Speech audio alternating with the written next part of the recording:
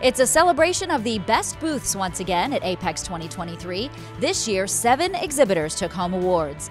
Febreze is your winner of Best in Show for small booths and Best Linear Booth. Tecumseh, your winner of Best Small Island Booth. We take this opportunity to show our products, to show our advantages because we have factory and the group has good uh, skills producing. So this is a really nice opportunity to show what we do because we do it very well. And Brembo North America won the Best in Show award for large booths and Best Large Island Booth. It's a tribute to the team.